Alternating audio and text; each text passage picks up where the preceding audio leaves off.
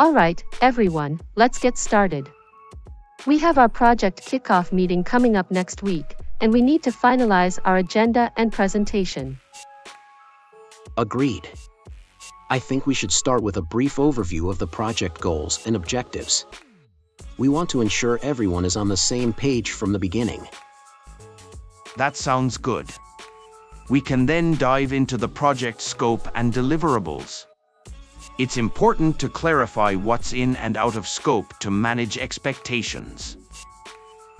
I suggest we allocate some time to discuss the project timeline and milestones. We need to establish a clear timeline for deliverables and ensure we stay on track. And let's not forget about resources and responsibilities. We should assign tasks to team members and ensure everyone knows their role in the project. Good point. We'll also need to address communication channels and frequency. How often should we meet for updates, and how will we communicate between meetings? I think weekly progress meetings would be beneficial with daily updates via email or Slack. We should also designate a project manager to oversee communication and coordination. Agreed. And speaking of coordination, we should discuss potential risks and mitigation strategies. It's essential to identify potential obstacles early on and have a plan in place to address them. Definitely. And let's not forget about stakeholder involvement. We need to keep our stakeholders informed and engaged throughout the project lifecycle. Right.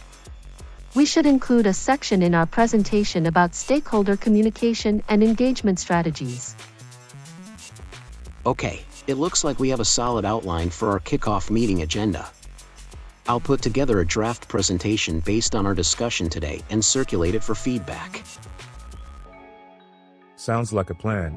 Let's aim to have everything finalized by the end of the week so we can hit the ground running at the kickoff meeting. Agreed. Thanks, everyone, for your input. I'm confident that with proper planning and coordination, we'll have a successful project kickoff.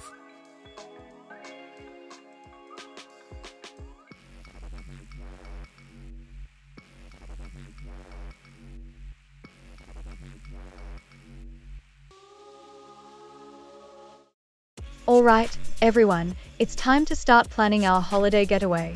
I'm thinking somewhere sunny with beautiful beaches. Sounds like a plan. I could definitely use a break from this chilly weather. How about a beach destination in the Caribbean? That sounds amazing. We could spend our days lounging on the beach, snorkeling, and soaking up the sun. Count me in. But let's make sure we consider everyone's preferences. Some might prefer a more adventurous destination with hiking and exploring. That's a good point. How about we look into destinations that offer a mix of relaxation and adventure? Maybe somewhere like Costa Rica or Hawaii. I love that idea. Costa Rica has beautiful beaches, lush rainforests, and plenty of outdoor activities like ziplining and surfing. Plus, Costa Rica is known for its ecotourism and sustainable practices. It would be great to support a destination that prioritizes environmental conservation. Agreed. Let's start researching accommodations and activities in Costa Rica.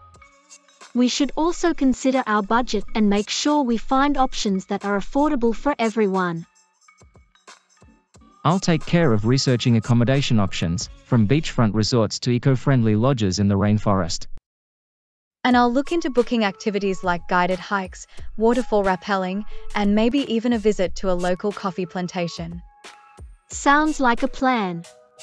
In the meantime, let's make a list of essentials we'll need to pack, like sunscreen, bug spray, and comfortable hiking shoes.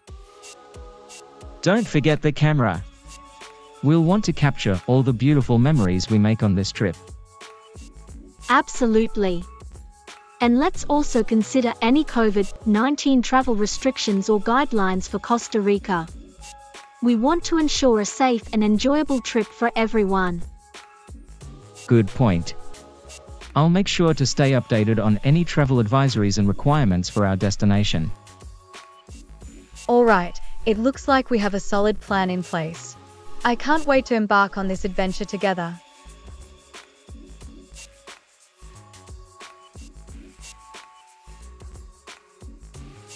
If you like this video, give it a thumbs up, hit the subscribe button and share to receive more videos like this in the future.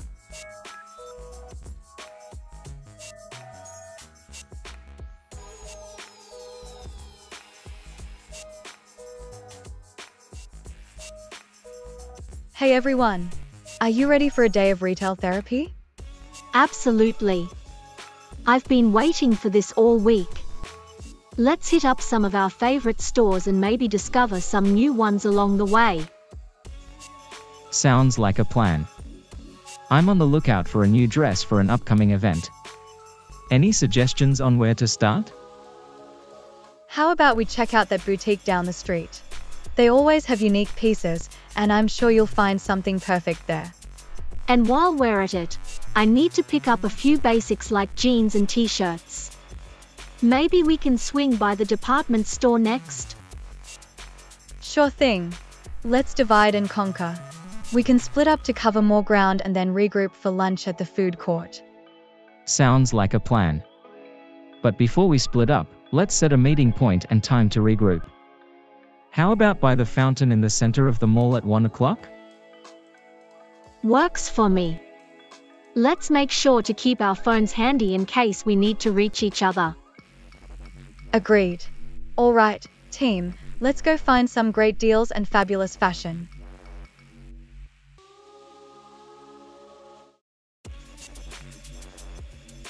What do you guys think? Should I go for the skinny jeans or the boyfriend fit? I think the boyfriend fit looks great on you. It's casual yet stylish. How about this one for the event? Too formal or just right? I love it. The color and style are perfect for the occasion. Mission accomplished, everyone. I found some great deals on shirts and shorts. I snagged the jeans and a few tops I needed. Plus, I found a cute accessory for the event. I'm happy with my dress find, and I also picked up a few skincare products I've been eyeing.